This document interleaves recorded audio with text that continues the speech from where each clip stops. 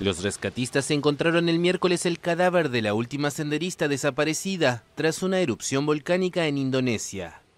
Con el hallazgo, el balance de muertos aumentó a 23, tres días después del desastre.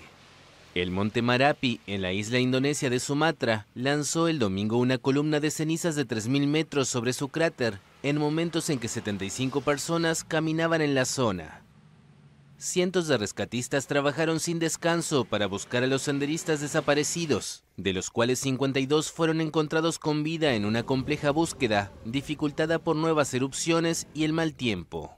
Sin embargo, las autoridades admitieron que es posible que otras personas subieran al volcán sin registrarse oficialmente, para no tener que pagar. Una nueva erupción se produjo poco después del mediodía del miércoles y se suma a las cinco detectadas un día antes.